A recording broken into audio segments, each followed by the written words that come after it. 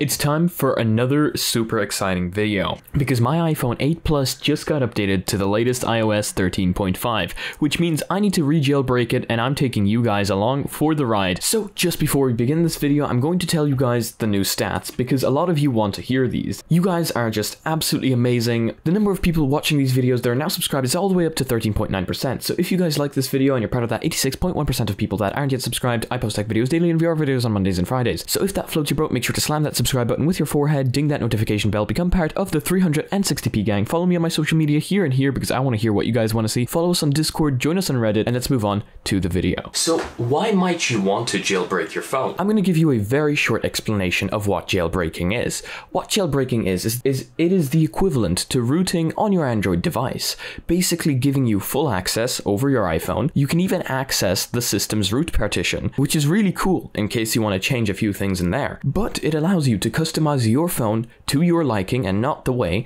Apple wanted it, which means you can change the way your icons look, means you can add widgets, change your home screen, add all sorts of crazy tweaks and customizations, and make your phone work the way you want it and not the way Apple wants it, so that everything is where you want it and not where it's supposed to be. And this is why I love jailbreaking, because if you watched my previous video with Apple versus Android, I hate unjailbroken iPhones, because I don't like the fact that I can't change where things are and I can't customize it to my liking, which is why I jailbreak every iPhone I own. So if you want to customize your phone pretty much without limits using Cydia tweaks and repos, you can follow this short tutorial and in the next video I will show you my favorite tweaks and my favorite repos that you can add to Cydia and make your phone look freaking amazing. Nowadays, jailbreaking has gotten much easier than it used to be. Currently, there's actually two ways you could install the Uncover jailbreak. You could either sideload the IPSW yourself using Cydia Impactor, or you could use the method that we are actually going to be using today. We are going to install it through the Alt Store, just because I find this method is less known, and I want to show you guys in case Cydia Impactor doesn't work for you. Cydia Impactor is pretty simple to use in case you did want to do that. You go onto the Uncover website, you download the IPSW from there, and you launch the Cydia Impactor app on your Windows or Mac computer. From there, you connect your phone to your computer and you install the IPSW. Now, this will also require you to sign into your Apple ID account, just like the Alt Store will. So either way, if you feel bad about signing in with your Apple account, I would say create yourself an alt. See what I did there?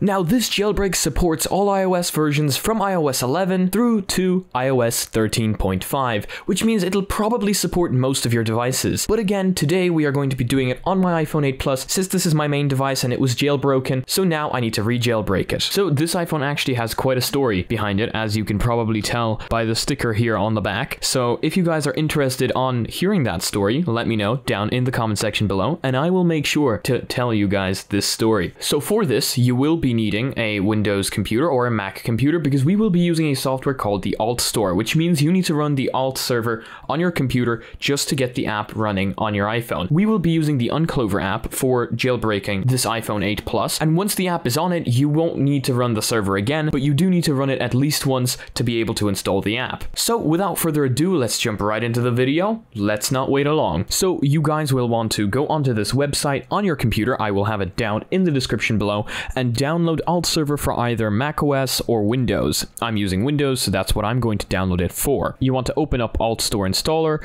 drag it to some safe place. I'm going to drag it onto my desktop, double click, and install it. Once it is installed, you will want to launch it. Allow access, and you have to let it download the latest version of iTunes from Apple and not from the Microsoft Store. So you will need to install iTunes, if you don't have it installed yet. I don't because I was personally using 3U Tools instead of Apple's iTunes, but hey, look, we can install it. Now, when you open iTunes and connect your phone, you will get this, install iCloud for Windows. You do want to click download and install iCloud for Windows, and then you will need to click down here. Then it'll give you a link to the iCloud setup.exe and not from the Microsoft Store. This is very important because Alt Server will not work with the version from the Microsoft Store. So once you have iTunes installed, you want to connect your phone just like this. You want to agree and you basically want to sync your device with iTunes. So you basically accept all the prompts that show up on your phone, wait for iTunes to show the little icon of your phone here. You want to go into here, into your little phone, scroll down, sync with this phone through Wi-Fi, click apply, click done. Okay, so then you finally want to launch alt server and direct it to the folder it's asking you to direct it to. So that's exactly what I am going to do. Boom.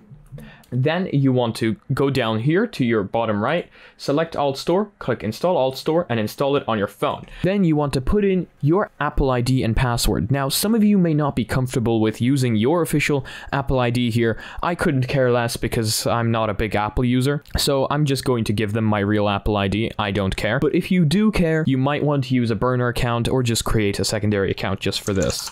Well, isn't this going to be fun? Me trying to guess my Apple ID. Okay, perfect. So then if you have two-step verification, that's what it's going to ask you for. So I'm going to allow, and I'm going to put in the code it's giving me. And now it should say installing Alt Store to your iPhone. So I'm going to wait for that to finish. I'm going to wait for it to pretty much just appear on this phone. I can see that it has in fact appeared, so now I can just disconnect the phone from the computer. So now let's move on to Mac OS X because I am aware that not all of you have Windows. So I'm going to show you both ways because I have a Hackintosh here, which I made a video about right here. So if you guys are interested in that, make sure to check that out. So if you guys are on Mac OS X, you will need to go onto the same alt store website that we went onto in Windows. But of course, this time you are going to click Mac OS X. You're going to let the alt server download, and once it is downloaded, you just want to open it. And now it's going to tell you the alt server is running. As you can see right up here, you can click on install mail plugin, click install, put in your password, mail plugin installed, please restart mail and enable alt plugin in mail's preferences. Mail must be running when installing or refreshing apps with alt server. So then you want to launch your mail, go to mail preferences, you want to click manage plugins, and enable the alt plugin. Apply and restart your mail app. Okay, cool. And now the process is the same as it was in Windows. You want to connect your iPhone, click up here, click install alt server on your iPhone, give it your Apple ID, click install, but I won't be doing that because I already have it installed. And it's that simple. Of course, you will need to have Mail running in the background always, as it told you, when you want to reinstall these apps using macOS X. And what you want to do now is you want to launch Alt Store. It's going to say untrusted developer. So you want to go into settings, general, device management, developer app, and trust. And now it will actually allow you to open Alt Store. Click allow. Now let me make sure to tell you, you do need to have Alt Server running in the background on your computer to be able to install this. So make sure you still have Alt Server running while you're installing the Uncover jailbreak through Alt Store. So then you want to open up the Uncover website in your Safari app. And down here, you want to click open in Alt Store. And then it's going to ask you, do you want to open in Alt Store? And you want to click yes. As you can see here, Alt Store is going to load in the Uncover jailbreak, just like that, and it's going to ask you to sign in with your Apple ID. Again, I will give it my Apple ID because I don't care. And I want to click got it, and now it should download the Uncover jailbreak. So I'm going to wait, going to continue waiting. And there we go. I just saw it appear right there. So as you can see, it's been sideloaded, so you can click the home button and you can launch the Uncover jailbreak. Then right here, what you will see is you will see the main screen of the Uncover jailbreak and you will see the big button that says jailbreak. You just want to hit that and boom, ads, really? In a jailbreak? It says jailbreak completed, the system needs to reboot, so I'm going to click OK. It's now going to reboot my iPhone, and hopefully once it turns back on, we will see that it's jailbroken. So the phone is now back on, and it seems that nothing has happened. Haha, got you there. This is a semi-untethered jailbreak. What that means is it means every time you restart your phone, you will need to relaunch the Uncover app right here and click jailbreak. Now, when you click jailbreak, it'll start the exploit. Basically, what's happening is the jailbroken system is actually still there every time you reboot your phone, but it's underneath the base system, so the official system that Apple gave you. All you have to do is you just have to dig it out. Jailbreak complete, no error occurred, the device will now reboot into the jailbroken state. So, here we go, and boom. As you can see now, you have Cydia on your iPhone running iOS 13.5. And you can open up Cydia now and download all your favorite tweaks. Now, unless you were paying for an Apple developer account, which I doubt any of us are, I think you may have noticed that next to the apps in the Alt Store it says 7 days. That is because basically what we are doing to install these apps is we are pretending that they are apps that we created, because Apple allows developers to install their own apps apps onto the iPhone without using the App Store, and that's basically what we've done here. But the thing is, these apps will require us to re-sign them every 7 days, which means that you will need to run the alt server and re-sign these apps every 7 days. If you're on Windows and you have the server running in the background, the alt store will attempt to re-sign them before the time runs out. But if you're on Mac OS X, that's going to be a little bit more of a pain, especially since you need to run that mail app. So in the next video where I show you guys the tweaks, I will also show you a super handy way to re-sign apps straight from your iPhone.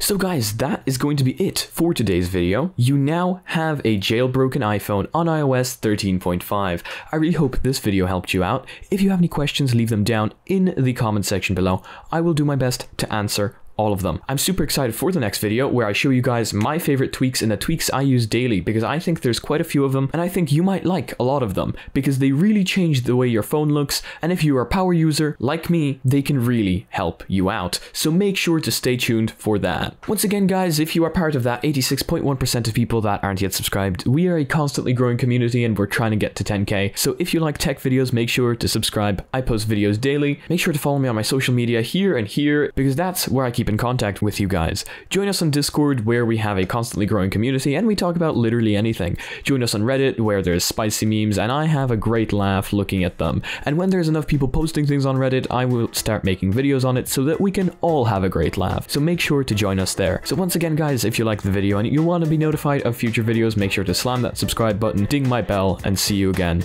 in the next one. Peace.